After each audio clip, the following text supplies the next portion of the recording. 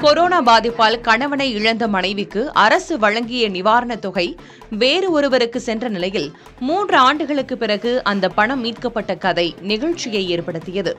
பெரம்பலூர் மாவட்டத்தைச் சேர்ந்த புஷ்பராணியின் கணவர் கடந்த இரண்டாயிரத்தி இருபதாம் ஆண்டு கொரோனாவால் உயிரிழந்தார். இறப்பிற்கான ஈமச்சடங்கு நிதி மற்றும் கைம்பெண் உதவித்தொகையாக புஷ்பராணிக்கு முப்பத்தி இரண்டாயிரத்து ஐநூறு ரூபாயை தமிழ்நாடு அரசு வழங்கியுள்ளது.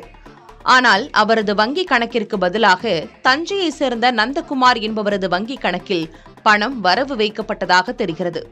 புஷ்பராணியின் கோரிக்கையை அடுத்து தஞ்சை மாவட்ட ஆட்சியரின் பரிந்துரைப்படி காவல்துறையினர் விசாரணை நடத்தியதில் கிடைத்த தகவல் மாவட்ட ஆட்சியர் பிரியங்காவையும் நிகழ்ச்சியடைய செய்திருக்கிறது. தெரியல தெரியாது?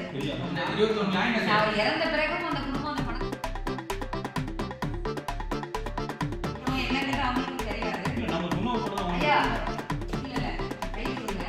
அஹ், தப்பு எப்படியோ நடந்து போச்சு இருந்தாலும் அதை வந்து இவ்வளோ அழகா திருப்பி கொடுத்தீங்க அப்படின்னு நானும் நினைக்கல. அஹ், உங்க உங்க பையன் தவறுனது எங்களுக்கு வருத்தம். சாரி சாரி சாரி சாரி மருமகன் தவறுனதுல எங்களுக்கு வருத்தம். புஷ்பராணியின் பணம் வரவு வைக்கப்பட்டதாக கூறப்படும் வங்கிக் கணக்கின் உரிமையாளர் நந்தகுமாரும் உயிரிழந்த நிலையில் அவரது வங்கிக் கணக்கில் உள்ள பணம் எப்படி வந்தது என எண்ணி மூன்று ஆண்டுகளாக அவரது குடும்பத்தினரும் பணத்தை பத்திரமாக பாதுகாத்துள்ளனர். காவல்துறையினரின் விசாரணையின் போது பணத்தை உரியவரிடம் ஒப்படைக்க தயாரான நந்தகுமாரின் தந்தை மாவட்ட ஆட்சியருடன் இணைந்து பாதிக்கப்பட்ட புஷ்பராணியிடம் திருப்பி அளித்தார்.